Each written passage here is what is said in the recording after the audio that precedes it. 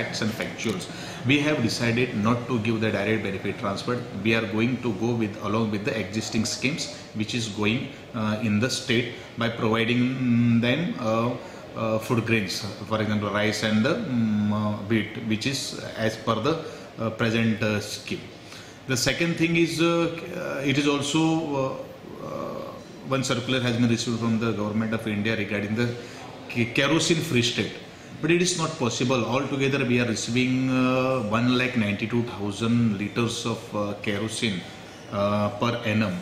So our requirement uh, in the state is almost 1 lakh 26 or 20,000 or something. So we are having some excess kerosene of uh, almost 11,500 per month.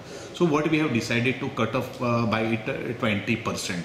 And accordingly, um, we are going to write to the government of India saying that the proposals which have received or uh, which you have made to the state government, it is uh, at this moment it is not uh, in the physical condition. Uh, after studying uh, or after taking the reports from all the um, uh, different sectors or the stakeholders, we have decided not to go for the DBT and not to go for a kerosene-free uh, state. Us to provide some jobs, or if they cannot see of the jobs now because of the uh, age factor will also come into the um, in the force.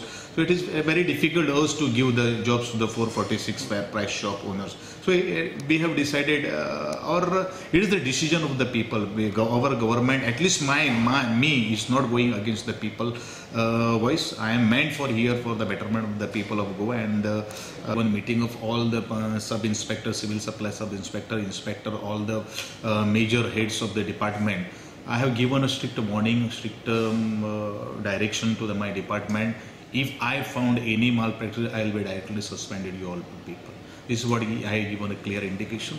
I just want to give the uh, some time to settle all these issues because uh, if they have some headache of malpracticing, it will never stop by within within uh, fortnight. So uh, definitely my check, watch and check will be always there. Video journalist Abhijit Jadhav from Panjim for HCN.